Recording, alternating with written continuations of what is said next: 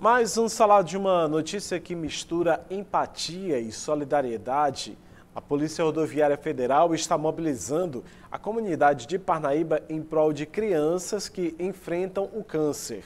A campanha Policiais contra o Câncer Infantil busca doações de sangue e leite em pó para ajudar essas crianças em um momento tão delicado.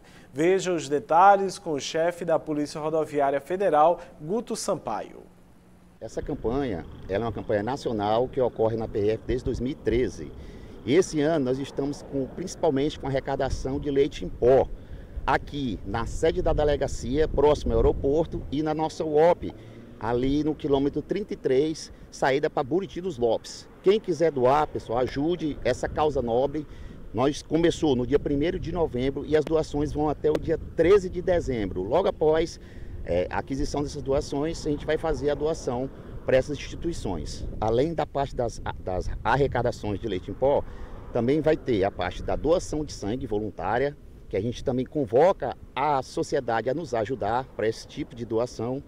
E também vai ter a participação ativa do, dos policiais indo nos locais, é, participando de eventos e levando um pouco de, de, de calento a esse, a esse pessoal que, que sofre com câncer infantil. Virou uma campanha anual e nacional e todos os anos a gente vai dar ênfase a essa campanha. É um gesto simples, mas que faz toda a diferença na vida dessas crianças e as suas famílias. E bonito ver como que a sociedade pode se unir em momentos tão importantes. Você já pensou aí em participar, em colaborar, exercitar a cidadania e também a sua solidariedade?